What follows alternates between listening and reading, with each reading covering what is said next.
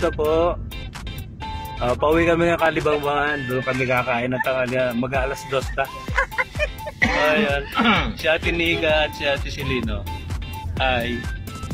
Ayaw tumingin.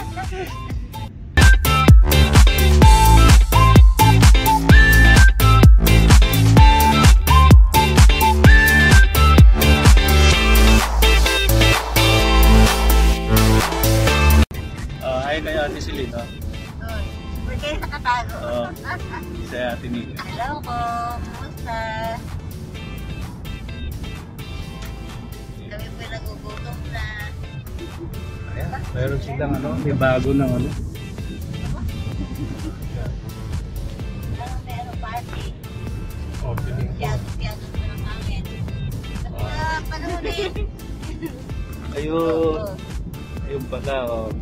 Oh, hi na kayo. Kay ate, kay tita Alice.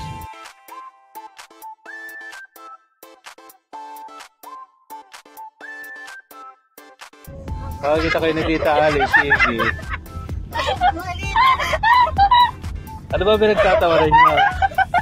Oh. Tuntua yung dalawa. Kanina pa. Ayaw tumingin sa camera.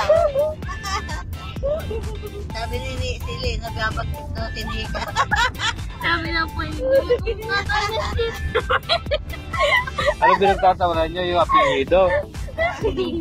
Ah, hindi. Kamukha na po ni Nika si Tito.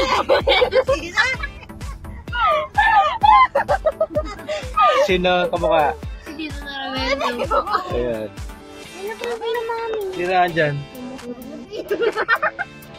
Ah, dito na. Nauna na sila.